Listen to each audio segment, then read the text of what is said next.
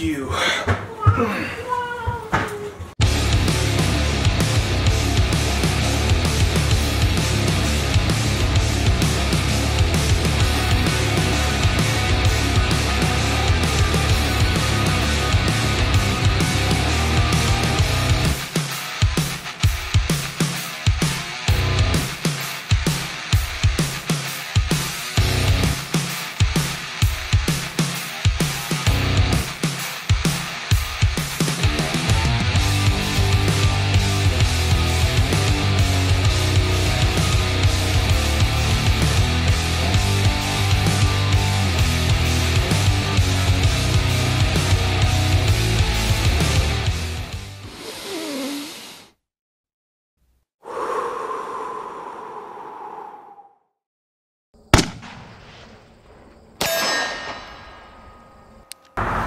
Hey guys, this video is sponsored by Three Mile Creek out here located in Perry. Uh, when we came out here to film, they were closed today, but luckily I ran into the Perry City Mayor and he was cool enough to give me private access to the range for filming.